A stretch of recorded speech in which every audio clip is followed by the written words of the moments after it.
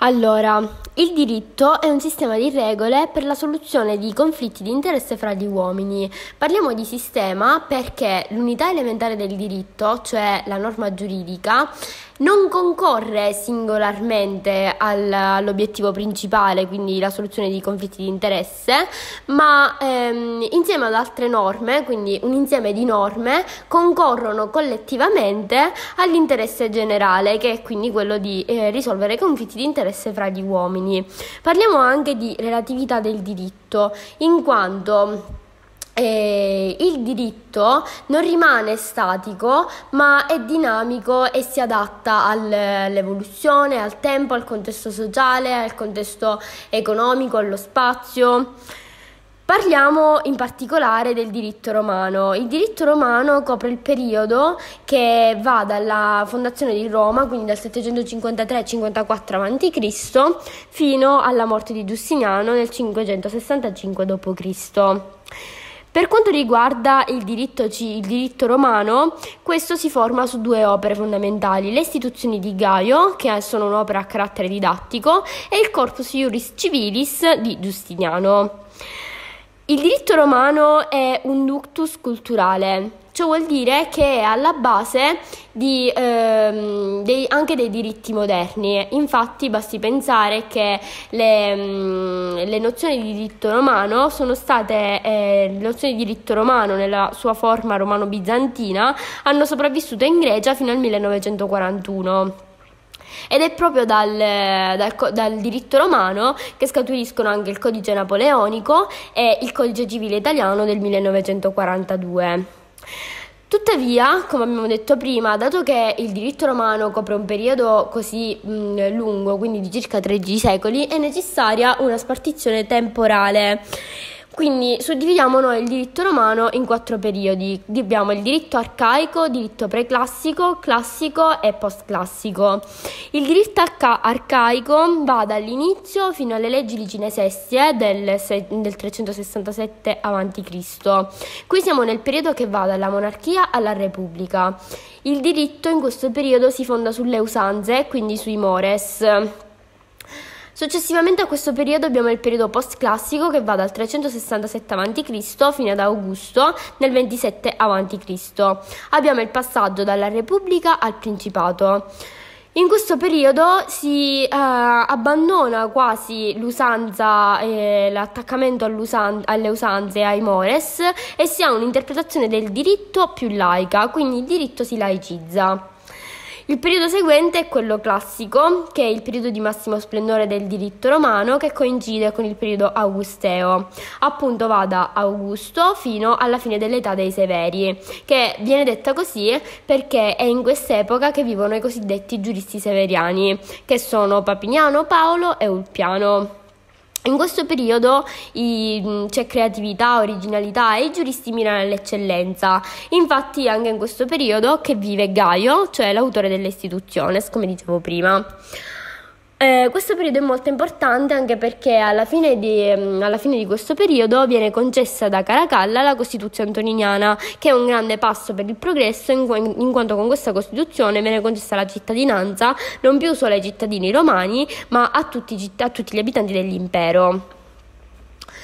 E, e, poi vi è un periodo di decadenza che è il periodo del diritto postclassico, che mm, è il periodo del diritto postclassico. Si ha una volgarizzazione del diritto. L'imperatore diviene dominus. Si isola tuttavia il diritto giustinianeo, che va quindi dal 527 al 565, che è mm, uno dei migliori periodi.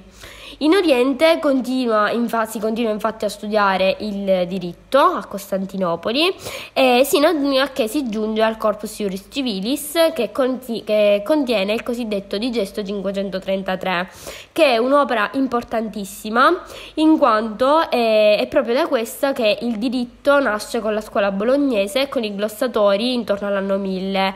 Eh, in Nerio e Accurso appunto hanno interpretato il digesto e da lì è nato il diritto comune. Il diritto si eh, fonda su tre regole fondamentali che diede Ulpiano. Questi precetti sono eh, i precetti fondamentali del diritto e sono vivere onestamente, non recare danno ad altri e dare a ciascuno il suo. Le caratteristiche fondamentali del diritto sono tre e sono il carattere dell'autonomia, della coercibilità e dell'universalità. Parliamo di autonomia in quanto vi è una separazione tra il mondo religioso e il mondo giuridico quindi tra ius e fas, appunto ius il diritto e fas che è la religione.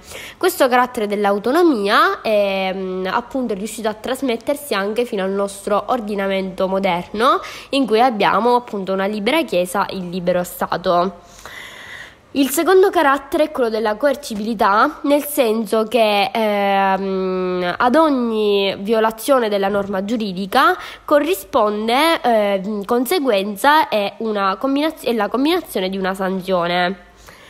Il terzo carattere invece è quello dell'universalità, perché appunto come dicevo prima il diritto romano è un ductus culturale che ha posto le basi per, molti, per molti degli ordinamenti moderni.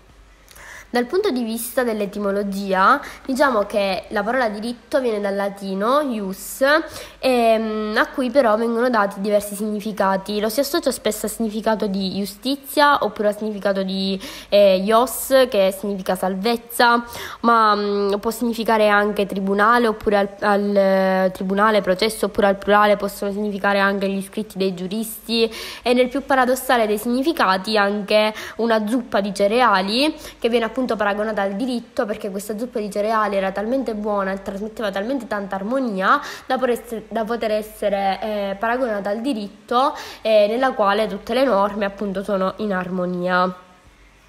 Se volessimo fare una classificazione del diritto, eh, lo suddivideremmo in diritto pubblico e diritto privato. Il diritto privato a sua volta viene diviso in diritto naturale, delle genti e civile. Il diritto naturale è quello secondo cui la natura insegna a tutti indistintamente.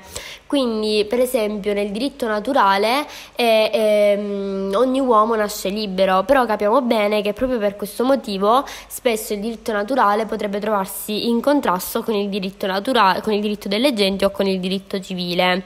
Infatti, il diritto delle genti, che è quella parte di diritto civile inerente ai rapporti tra straniero e straniero o tra cittadino e straniero, prevede la schiavitù. Quindi capiamo che è in contrasto eh, appunto con il diritto naturale.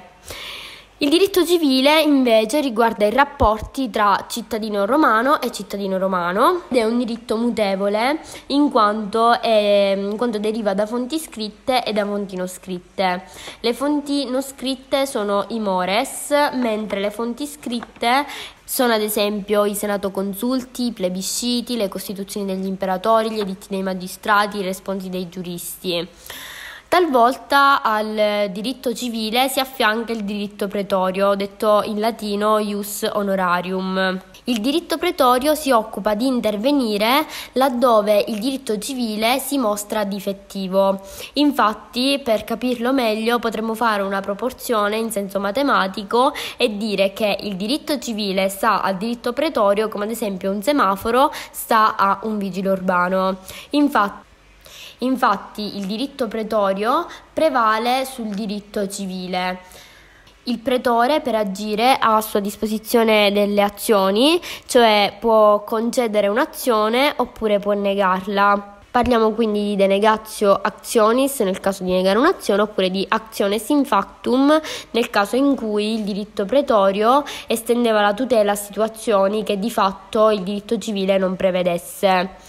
Un altro strumento a cui il pretore poteva ricorrere era lo strumento della finzione, come per esempio nel caso dell'usucapione, dove, mm, in cui si finge che sia decorso il tempo utile appunto ad usucapire.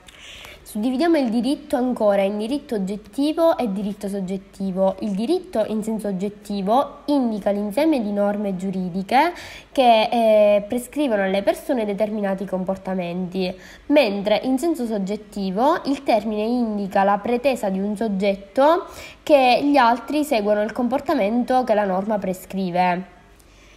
I rapporti tra gli uomini che prevedono da un lato un diritto soggettivo e dall'altro un corrispondente dovere giuridico, quindi un eh, diritto oggettivo, ehm, formano appunto un rapporto giuridico. In particolare la categoria dei diritti soggettivi si, derivi, si divide in due, in due, sottocategorie, che sono i diritti soggettivi assoluti, cioè quelli validi erga omnes, quindi nei confronti di tutti, e poi i diritti soggettivi relativi che possono essere fatti valere nei confronti di una o più persone determinate o determinabili.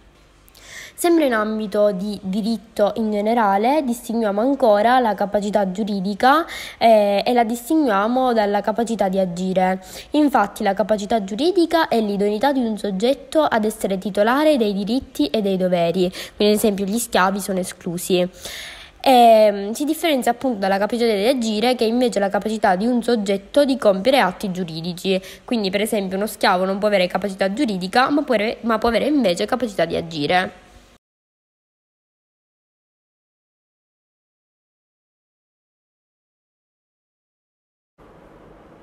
I diritti reali. I diritti reali sono quei diritti soggettivi assoluti che quindi hanno una valenza ehm, erga omnes, cioè verso, sono validi verso tutti, e sono in particolare quei diritti che hanno una diretta incidenza sulle cose. Infatti, l'espressione stessa deriva dal latino ius in re, che letteralmente significa diritto sulla cosa. Per parlare e capire appieno i diritti reali è necessario innanzitutto compiere una classificazione. Il più eminente dei diritti reali è il diritto di proprietà